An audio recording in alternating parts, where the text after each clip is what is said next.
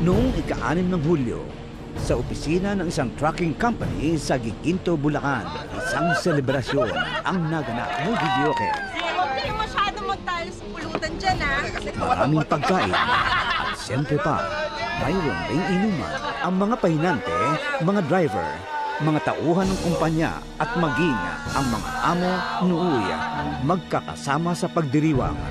Talaga namang napakasaya ng gabi yun. Pero sa di naasahan, doon pala magsisimula ang isang malabim na misteryo.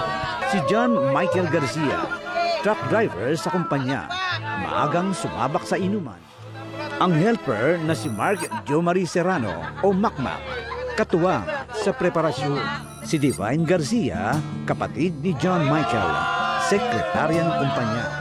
Ang mag-asawang Tristan at Trina, sila naman ang nagmamayari ng trucking company. Pagdiretso ko dito, yan, nagluluto nga sila. Siguro nag-start, ah, nag-start yung inuman is mga 7 o'clock. Habang nag-iinuman, sabi ko, sinamahan ko na lang sila.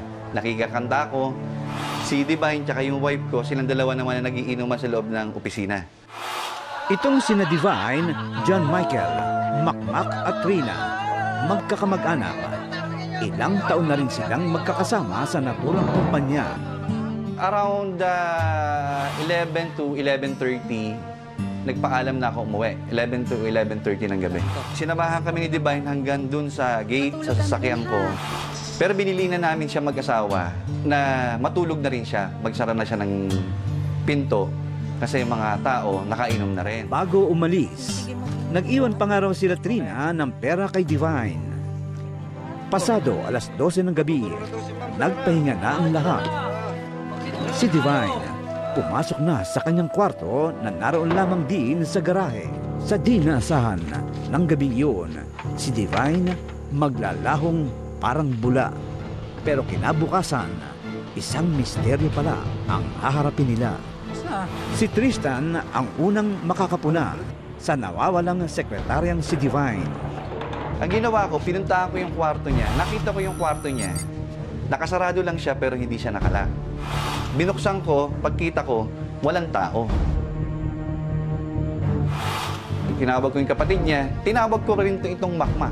Kasi makamag-anak ang unang tinawag ko. Mas nagtaka pa si Tristan sa kanyang nakita sa loob ng kwarto. Tumambad sa amin yung 100,000. Sabi ko kay Jame, nakalagay yan sa brown envelope yung pera bago namin binigay. Bakit nandito tong 100,000? Binuksan namin yung bag niya, nakita namin yung wallet ni Divine. Nandun yung ID. Sabi namin, may mali. Sabi ko, Jame, may mali. Nooy kinabahan na nga si Tristan, kaya naman agad rin niyang tinawagan ang Hello? asawang si Trina. Si Trina at Divine magpinsang buo. Kabisado na raw nila ang ugali ng isa't isa. Yung higaan ni ate, parang kakaiba yung ayos. Hindi ka ako ganito ang ayos ng kwarto niya kasi lagi ako nakikitulog yan pag tanghali. Bukod pa dito, sa matagal na panahong pagiging sekretarya ni Divine sa kanilang negosyo, buong buo raw ang tiwala nila dito. Natinignan ko yung gamit niya, nakita ko yung bag niya, nandun yung wallet niya. Kinabahan na ako. Alam ko, sabi ko, may mali. Kasi si Ate Divine Kako or kahit sinong tao aalis na hindi babalik agad, dapat dala ang wallet. Samantala, na mga sandaling ito, batid na ng lahat ang balita. Dahil dito, nagpasya na silang humingi ng tulong sa lokal na pulisya. Pero maging ang mga pulis, blanco rin daw nang mag-imbestiga sa kwarto ni Divine. Noong gabi, bago nawala si Divine, matatandaang nagkaroon ng selebrasyon. Nagkasiyahan ang mga driver, pahinante at ilang pang mga tauhan sa trucking company na mag-asawang Tristan at Trina. Nooy nakiusap sila na makita ang CCTV footage ng katabing compound. Sa hinaba-haba ng CCTV footage nakuha noong madaling araw ng July 7, 2019. Hindi nila nakitang lumabas si Divine. Pero sa matyaga nilang pagsilip sa video, Ayan, may tricycle. Nakita nila ang tricycle na ito na lumabas sa kanilang garahe. Sa puntong ito, unti-unti nang naghinala ang mag-asawa sa isang tao.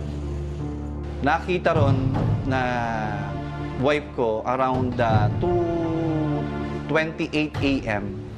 Si Makmak, inilabas niya yung kanyang tricycle. Ang tin- Si Makmak, may una siyang ginawang pagnanakaw, napaalis siya. Sa kabutihan ng puso ni Divine, pinabalik niya, pinagpaalam niya sa akin personally na babalik si Makmak. Sabi ko, ah, buntot niyan, hila mo. Kung ano yung gagawin dito niyan, pananagutan mo. Yun yung naging agreement namin dalawa. Yan. Ngayon, dahil sa CCTV footage, lumalabas na itong si Makmak pa ang may posibleng nalalaman sa pagkawala ng taong nagmalasakit sa kanya. Sa puntong ito, kinumpronta na umano nila si Makmak. Nung una'y ibang-iba raw ang naging sagot.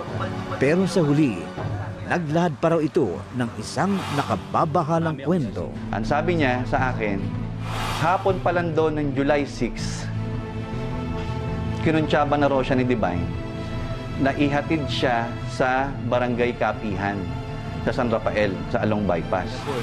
Iniwan doon niya sa coaching itim si Divine. Sabi ko sa kanya, nung iniwan mo sa coaching itim,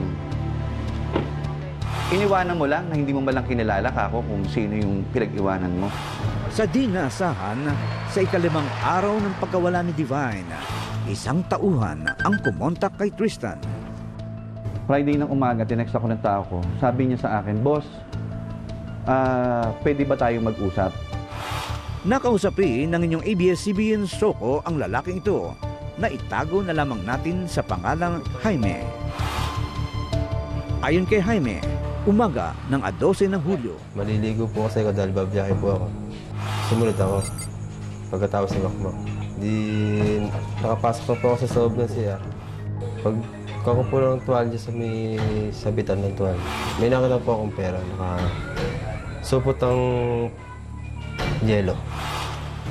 ilang saglit lamang si Makmak tumatok umano sa pintuan ng banyo. Agad naman daw niya itong kinausap. Pare, may naiwan ka ba ng pera dito? Sabi po niya, wala pare. Ganyan. Sabi po niya sa akin, pare walang may-ari nito. Sa kwentong ito ni Jaime, lumalabas na nasa pag-iingat ni Makmak ang malaking halaga ng pera.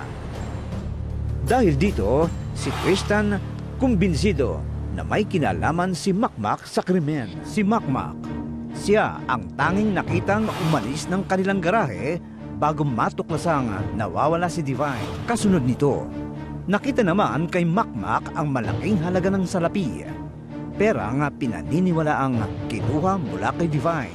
Sa puntong ito, humingi na ng tulong si Tristan kay Police Corporal Rudolph Ramos.